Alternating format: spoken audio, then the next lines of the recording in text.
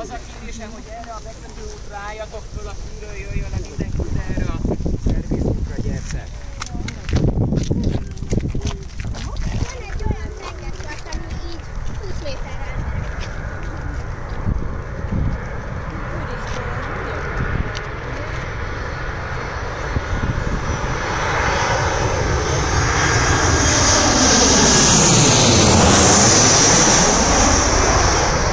Aha.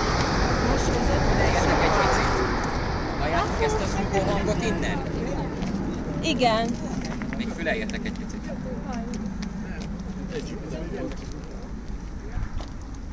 És még onnan hallani egy picit. Volt egy ilyen suhogó hang most innen. Ez volt a gép által keltett légörvénynek és a szányvégi örvénysornak a hangja. Tehát ezzel szoktuk érzékeltetni, délelőtt volt egy CRI ezres, amögött valami eszméletlen hanghatások voltak. Ezzel tudjuk mindig megmutatni, hogy miért kell ugye elég nagy elkülönítéseket alkalmazni az érkező és az induló gépek között. Tehát egyrészt, hogy meglegyen a biztonsági távolság, másrészt most jelen esetben, hogy már ott a következő érkezőnk, ennek a gépnek legyen ideje legurulni a pályáról a földetérést követően, de ő neki, meg ne kelljen belerepülni az előző gép által keltett légörvénybe, tehát azt is meg kell várni, hogy előjön.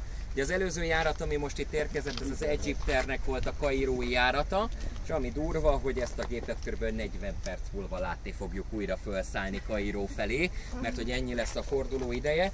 És jön a következő érkezőnk, itt a végső egyenesen, ez a Wizzernek lesz a berlini járata, egy Airbus A321-es Berlin az érkezik. Ugye ezt ilyenkor a leszállásnál úgy kell elképzelni, hogy az aktuális pályairánytól függően a repülőgépet elviszik egy 25-30 kilométeres távolságra, ott ráfordítják a pályairányra, és amikor már a pálya felé repül a gép, azt végső egyenesnek vagy finalnek hívjuk. És ahogy egyre közelebb kerül a pályához a gép, elkezd süllyedni egy három fokos lejtőn, ennek a lejtőnek az a neve, hogy siklópálya, és értelemszerűen a siklópálya vége az a futópályának a földetérési zónája.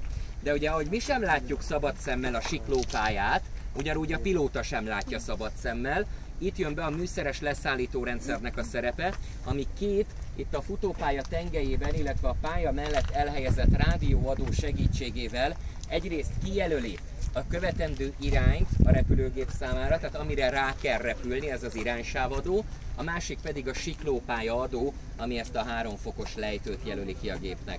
És értelemszerűen nem ebben a szép tiszta időben értékelődik föl hatványozottan ennek a műszeres leszállító rendszernek a szerepe, hanem amikor ilyen kellemes november, decemberben, hogy reggeltől estig, estétől reggelig köd van, pára van, esik az eső, és a felhő alap 30 méteren van, vagy 40 méteren. Tehát itt, amikor kibukkan a gép, már a bevezető fénysor felénél tart, és van hátra a leszállásig 7 másodperc.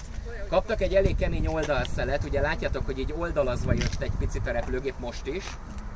Ilyenkor korrigálniuk kell folyamatosan a pilótáknak. Rá kell tartani a szélre.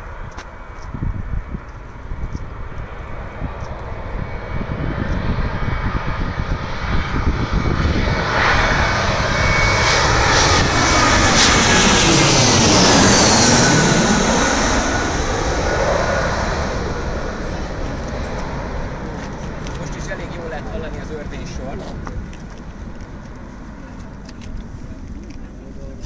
De ez nem olyan, mint amikor Ducatóval állok be valahol, nem? Én nem. Ugye láttátok, főleg most itt a földetérés előtt. Most ért ide az örvénysor.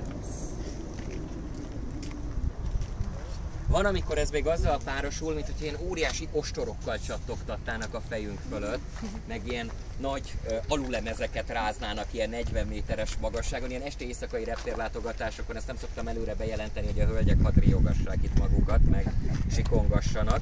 Ö, Szóval az a lényeg, hogy ö, ugye ahogy a repülőgép közelít, van egy elhatározási magasság. Amikor eldöntik a pilóták,